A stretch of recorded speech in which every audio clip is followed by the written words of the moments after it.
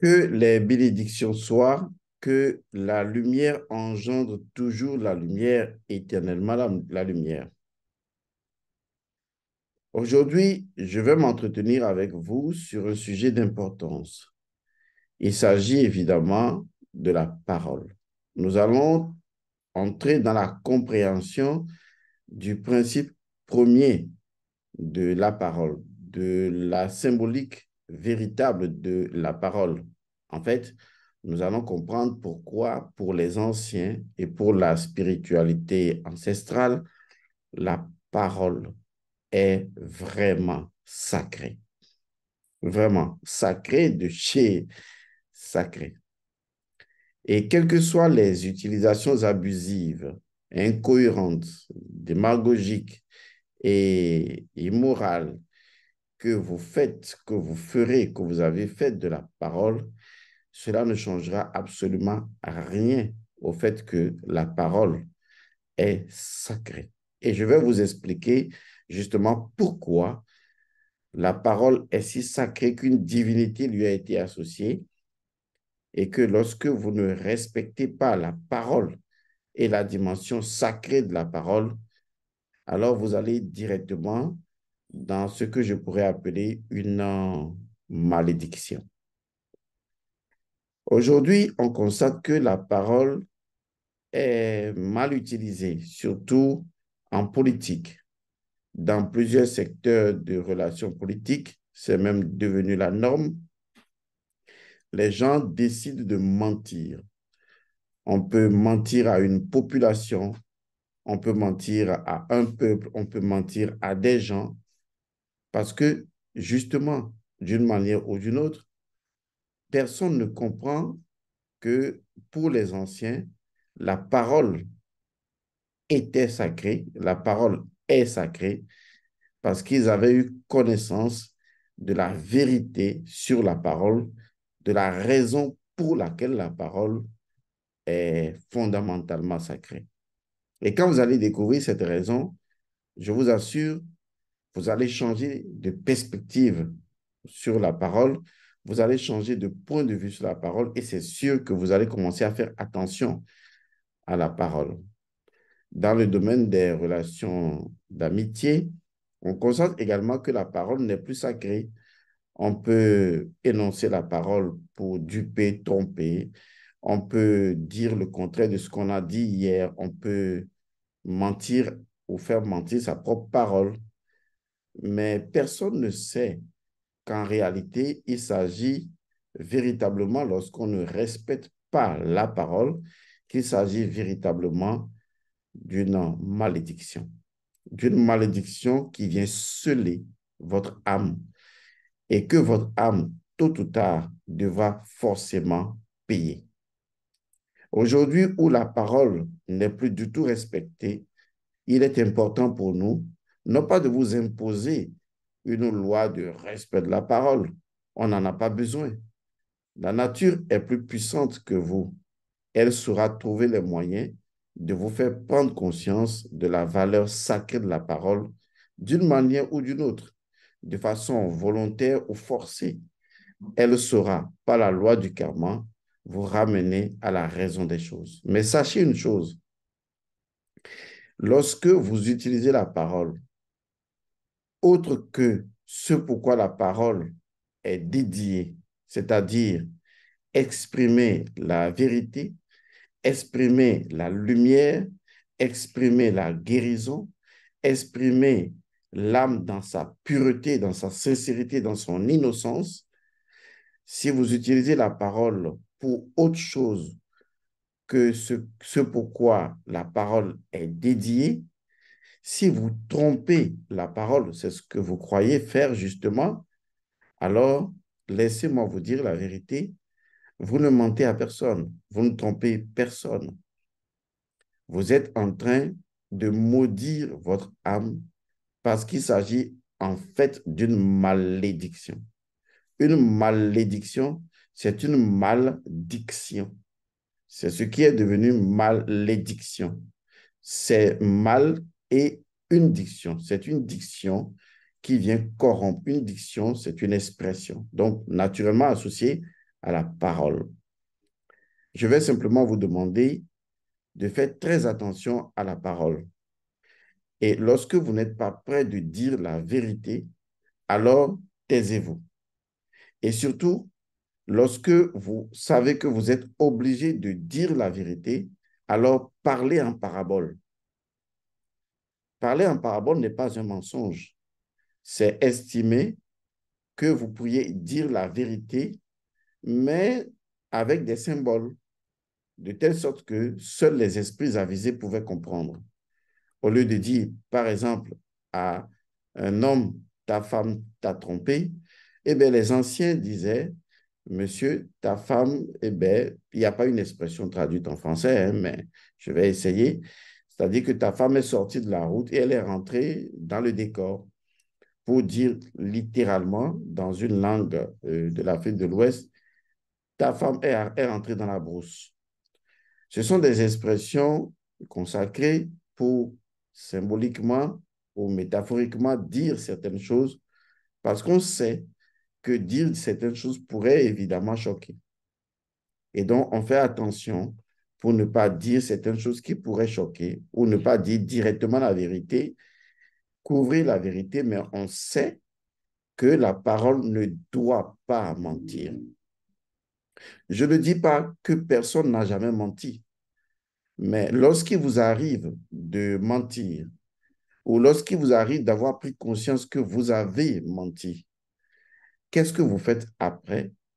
Qu'est-ce que vous faites à la parole après? Est-ce que vous faites le rituel de la parole pour reconsacrer la parole? Est-ce que vous faites un rituel de purification pour purifier votre propre mensonge? Qu'est-ce que vous faites en fait? En réalité, vous ne faites rien, vous laissez les choses passer et vous ne vous rendez pas compte que chaque parole laisse ce que je peux appeler une trace sur votre âme. Chaque parole laisse une trace sur votre âme. Si vous passez du temps, du matin au soir, à faire du papatoya, à raconter des choses, à dénigrer des gens, à insulter des gens, en fait, chaque parole est une énergie qui laisse des traces sur votre âme. Il n'y a rien à faire.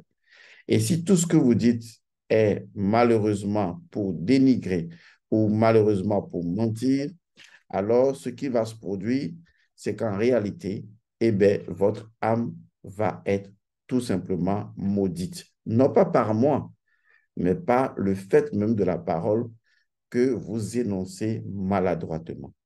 Maintenant, allons de façon plus approfondie dans cette connaissance. Pourquoi est-ce que les anciens, les ancêtres, ne s'en tenaient qu'à la parole donnée? À savoir, mon frère, ce chant est à toi. Dans 10 ans, dans 50 ans, le chant est à lui. Mais aujourd'hui, la personne te dit, et c'est un exemple, ce chant est à toi. Et demain, la personne te dit, à quel moment moi j'ai dit que ce chant est à toi? Je n'ai jamais dit que ce champ est à toi. Est-ce que vous voyez? C'est un exemple assez trivial pour montrer clairement comment est-ce que nous passons du chaud au froid sans aucune conscience du dommage énormissime que nous causons à notre âme par la parole. Notre âme se nourrit de la parole parce que la parole est une vibration émise de l'esprit que notre corps exprime et dont notre âme se nourrit. Notre âme se nourrit de la vitalité, de la vibration de la parole. La preuve, lorsque je vous parle, votre âme se nourrit. Lorsque vous entendez des discours politiques, aussi faux soient-ils, votre âme s'en nourrit lorsqu'on vous parle de la spiritualité sur cette chaîne, votre âme s'en nourrit parce que justement, la parole transporte une grande quantité de vitalité, de cas, de chi, d'énergie vitale dont votre âme se nourrit. C'est d'ailleurs la raison pour laquelle, lorsque vous vous sentez mal dans votre corps et qu'un ami ou une amie vient vous parler, vous soulager et partager avec vous des conseils, eh bien, votre âme se nourrit. Vous vous sentez renourri, nourri par la parole. Est-ce que vous voyez? C'est pour cette raison que la parole ne doit faire qu'un certain nombre de choses. C'est-à-dire bénir, par exemple, toutes les paroles doivent être des paroles de bénédiction et toutes les paroles doivent être des paroles de guérison et toutes les paroles doivent être des paroles d'abondance, de prospérité. Voici les choses que la parole est censée faire. La parole associée aux mannes ancestrales, c'est-à-dire la parole doit apporter simplement les bénédictions suivantes, la fertilité et la virilité. Donc, assurez-vous, lorsque vous vous exprimez, d'être dans ce canevas. Est-ce que ce que je dis est fertile? Est-ce que j'utilise des énergies de la fertilité? Est-ce que mes mots sont des mots de fertilité? Ou est-ce que mes mots sont des mots de virilité? Si vos mots utilisent ces deux énergies, c'est bon.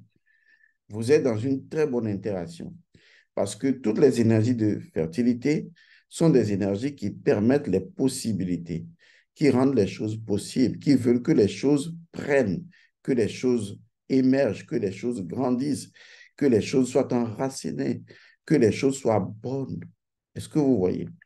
Et toutes les énergies de virilité, ce sont des énergies d'évolution qui veulent que les choses évoluent, que les choses prospèrent, que les choses aillent loin. Donc, quand vous vous exprimez, posez-vous la question, est-ce que mes paroles sont fertilité et virilité? Est-ce que mes paroles apportent aux gens tout ce qui relève de la fertilité? Excusez-moi, à savoir euh, le bien-être intérieur, la guérison, le soubassement fondamentalement euh, bon des gens, ou est-ce que mes paroles, justement, les accompagnent vers une certaine progression, évolution de l'espoir?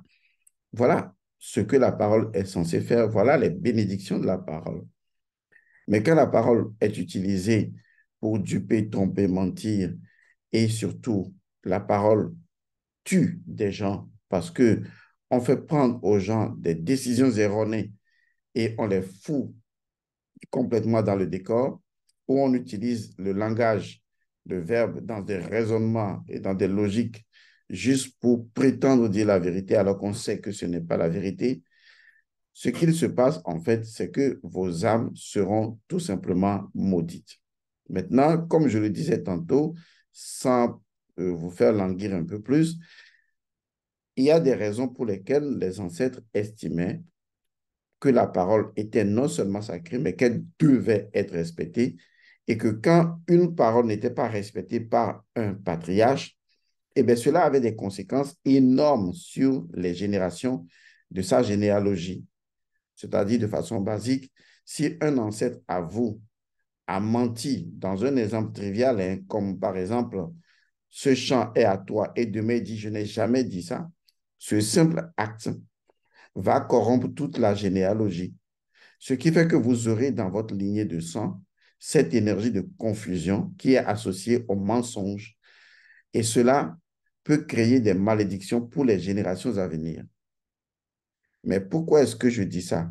Je ne le, vous savez, chez moi, ici, sur cette chaîne, je ne raconte pas n'importe quoi. Je donne des précisions de la science spirituelle pour vous exprimer les choses. Je le dis parce qu'il y a une chose que les anciens avaient découverte et qui a fondé, n'est-ce pas, leur attitude sur la parole sacrée, c'est que la parole, lorsqu'elle est émise, porte et transporte toujours du sang. Toujours. Je vais vous le dire d'une autre façon. Lorsqu'un avion prend le départ du Mali pour aller vers le Burkina ou du Burkina pour aller vers le Niger, eh bien, l'avion transporte des individus. On est d'accord. Vous voyez déjà l'image. Lorsque la parole est exprimée, la parole transporte du sang. Ça veut dire que il y a toujours du sang dans votre parole. Les gens vont me dire, mais oh, ouais, ma parole, j'attrape ma parole, mais je ne vois pas du sang dedans. Oui, c'est vrai que la parole est une identité entre le visible et l'invisible, et donc entre les matières et la matière. et dont la parole, de par sa nature à la fois visible par des mots qu'on peut lire et invisible par le fait qu'on ne peut que l'entendre, la parole porte une identité de deux dimensions, la dimension du subtil et la dimension du grossier, et dont la parole est créatrice. Elle peut rendre visible une chose invisible et rendre invisible une chose visible.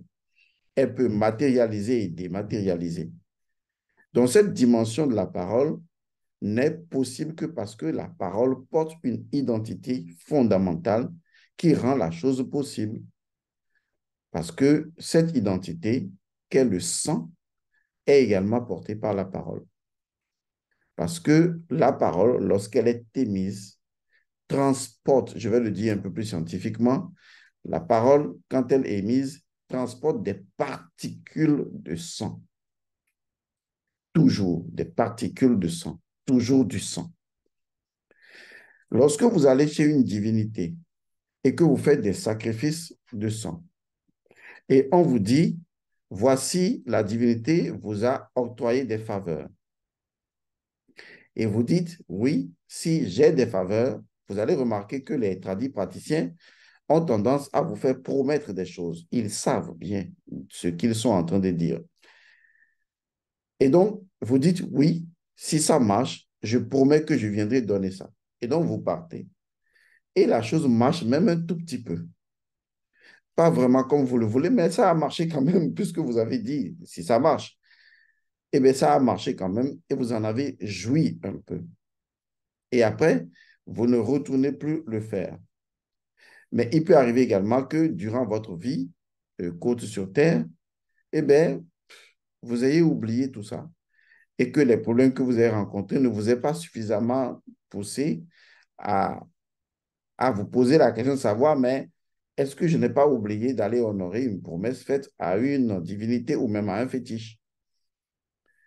Et donc, après votre passage sur terre, vos enfants viennent et un jour, vos enfants ont tellement de problèmes, tellement de problèmes, que lorsqu'ils vont en consultation, on leur dit, mais votre père ou votre grand-père, eh bien, a un pacte avec une divinité et il n'a pas honoré cela. Ou peut-être la naissance de ce grand-père ou d'un enfant a été demandée auprès d'une divinité avec la promesse de venir honorer quelque chose et que cela n'a pas été fait. Et c'est là que vous commencez à courir pour dire, mais comment il a pu faire ce, pacte-là?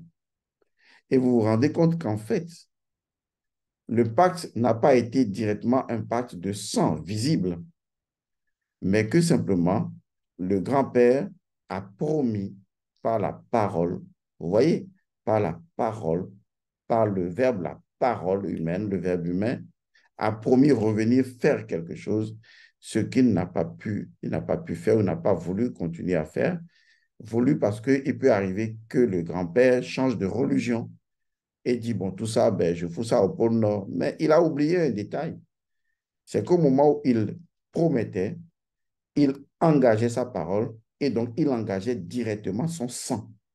Car le sang, eh bien, c'est, je, je vais dire que la parole est du sang exprimé le sang, lorsqu'il est en ébullition, émet des vibrations, émet le verbe, la vibration qui s'exprime par la parole. Ce qui veut dire que la parole porte toujours des particules de sang et la parole, eh bien, c'est du sang exprimé. C'est du sang parlé. Vous voyez, la parole, c'est du sang parlé. C'est important de comprendre les jeux de mots que je fais pour intégrer définitivement que vous n'avez pas besoin d'offrir des sacrifices de sang à une divinité. Il suffit que vous promettiez à une divinité, donne-moi des enfants, et eh bien je vais faire ceci pour toi, et que cela ne se fasse pas. Mais comment est-ce que la divinité ne s'attaque-t-elle pas uniquement à vous seul? Elle aurait pu s'attaquer uniquement à vous. Voilà que vous êtes décédé. Mais pourquoi elle ne s'attaque pas uniquement à vous en disant, bon, c'est lui qui a fait la promesse, il est décédé et c'est fini? Parce qu'en fait, au moment où vous faisiez la, la promesse, vous avez parlé et des particules de sang sont allées vers la divinité. De toute façon, aucune divinité ne répond sans le sang. Il y a toujours du sang en nous. Tout ce que nous exprimons porte une identité sanguine. Et donc, quand la divinité entend ce que vous avez dit et donc récupère par le verbe vos particules de sang, même si demain, vous, en tant qu'individu, vous n'arrivez plus à assumer ce que vous avez promis, eh bien, vous mourrez. La divinité va s'attaquer à vos enfants, mais il ne les reconnaît que par le sang. Et ce sang, il n'a pas eu à le prendre sur vous en vous piquant ou en vous déchirant la peau, mais il l'a fait simplement en le prenant dans votre parole. La parole porte et transporte toujours des particules du sang. Dans les langues africaines, les mots qui sont associés à la parole sont des mots qui sont proches toujours de l'utilisation du sang. C'est important de savoir jusqu'à quel point la divinité même Djibouti est associée non seulement au verbe, donc aux effluves qui s'échappent du noun, qui est d'ailleurs le sang, mais est considérée comme étant l'essence même par laquelle les choses peuvent se mouvoir, car c'est la parole qui a tout créé et la parole a une identité de sang vis-à-vis des choses qu'elle a créées. Alors, je viens ici maintenant vous dire une chose. La parole est sacrée justement parce que elle porte des particules de sang. Or, le sang est indissociable de votre âme parce que le sang est appelé de l'âme liquide. Ça veut dire que la force de votre âme se trouve en grande partie dans le sang, puisque votre âme a besoin du sang pour guider votre corps. Et donc, les vibrations, les énergies, les impressions de votre âme se trouvent directement dans votre sang. Vous comprenez pourquoi j'ai dit tantôt que lorsque vous donnez votre parole et que vous y manquez, vous maudissez votre âme. Parce que toute parole donnée est comme un contrat, est comme un pacte qui est signé. Et si vous ne l'honorez pas, alors vous allez subir votre propre malédiction. Personne ne vous maudira. C'est pourquoi certaines personnes, lorsque vous leur parlez, ils vous disent, c'est toi qui l'as dit ou c'est vous-même qui avez dit. Hein? Répétez ce que vous avez dit, c'est vous-même qui avez dit. Parce que justement, ce sont des gens qui savent que la parole a une action retour sur l'individu et on peut même jusqu'à dire que ta parole te soit accomplie. Il est important de ne même pas chercher à maudire les gens. Il faut juste leur dire que ta propre parole te soit accompli à toi-même. En fait, vous ne dites pas que sa parole lui soit accomplie, vous êtes en train de rappeler le fonctionnement même, le mécanisme même de la parole, à savoir, avant qu'une parole n'aille vers une autre personne, elle a déjà accompli en toi-même ce que tu dis de l'autre. De telle sorte que finalement, c'est toi qui reçois la première babale vous devez faire attention à la parole parce qu'elle sera toujours sacrée. Elle relève du domaine de, de Netcher, c'est-à-dire d'une divinité. Et ne pas la respecter va maudire votre âme, va attirer des malédictions sur vous. Et une seule, une seule parole ratée peut créer des problèmes pour la génération de vos enfants. Maintenant, allez imaginer comment des chefs d'État mentent mentent à une population, mentent à eux-mêmes, mentent tout le temps. Je ne voudrais pas être à leur place parce que à cette loi, ils n'y échapperont pas du tout. Et vous, tout ce que vous avez à dire à quelqu'un qui parle de vous, qui commère contre vous, qui raconte des choses sur vous, c'est de lui dire simplement, et de le faire en méditation, c'est de lui dire que ta propre parole te soit accomplie que ta propre parole soit accomplie pour toi-même. Vous ne faites rien de mal que de lui redire ce que lui-même il a souhaité. Parce que si vous souhaitez quelque chose pour une autre personne, c'est à travers vous. Ça veut dire que, que vous en soyez conscient ou pas, même si vous ne voulez pas vous le souhaiter, malheureusement, la loi veut que parce que ça passe par vous, eh bien, votre âme se le souhaite à elle-même ou se la souhaite à elle-même, à votre insu, et cela finira par vous arriver. Et donc, celui qui vous dit que ta propre parole te soit accomplie ne fait que activer le principe par lequel votre âme va plus rapidement t'appliquer ou vous appliquer à vous-même les mauvaises choses que vous souhaitez aux autres. La parole sacrée, parce qu'elle porte toujours des particules de sang. Alors, attention, lorsque vous dites à un tradit praticien, oui, fais ça pour moi, je te donne l'ordre de le faire, je te donne l'autorisation de le faire. Je reviens toujours à ceci de fondamental. Nous sommes à l'ère du verso où, un, vous devez arrêter de tuer les pauvres animaux pour des divinités qui n'en ont plus absolument besoin. Deux, vous devez prendre le chemin de la souveraineté intérieure et de l'autonomie spirituelle. Apprendre à faire les choses par vous-même. Devenir votre propre rongan, votre propre bokono, votre propre prêtre à vous-même. Et tertio, enfin, apprenez, surtout apprenez à comprendre la seule loi qui vaut la peine d'être comprise dans cette nature. Une graine ne peut pas pousser à la place d'une autre graine. Vous devez suivre le chemin de votre propre transformation spirituelle. Faites les choses par vous-même et transformez-vous.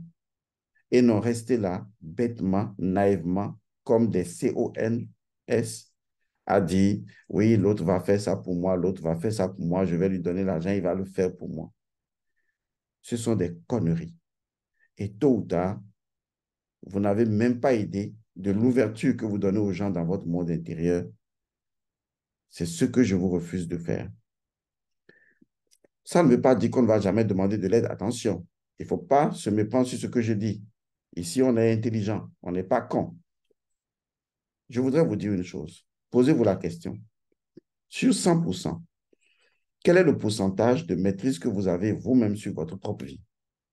Alors, si la maîtrise que vous avez sur votre propre vie spirituelle est de 10%, vous êtes mal barré. Si c'est de 20%, ça ne veut rien dire. 30% non, 50% non. Mais si vous commencez à avoir une maîtrise de votre propre vie spirituelle de 80-20, et même de 90-10, c'est-à-dire que c'est vous qui avez 90% de souveraineté de votre vie, d'autonomie, de maîtrise de votre vie et des pratiques spirituelles que vous faites. Et que de temps en temps, vous laissez 10%, 5% et même, oui, 1% à quelqu'un de le faire pour vous, alors vous êtes sur la bonne voie. C'est tout ce que je cherche de vous dire, à vous dire depuis longtemps. Quel est le pourcentage de maîtrise que vous avez sur votre vie? Faites le point et ensuite répondez vous-même de façon sincère. Mais si vous venez, vous venez à l'esprit de dire que je raconte n'importe quoi ou que ce type est fou et que, bon, tout ce que vous voulez, je n'en serai que heureux de vous dire que votre propre parole vous soit accomplie à vous-même. Je vous remercie, paix et bénédiction à vous.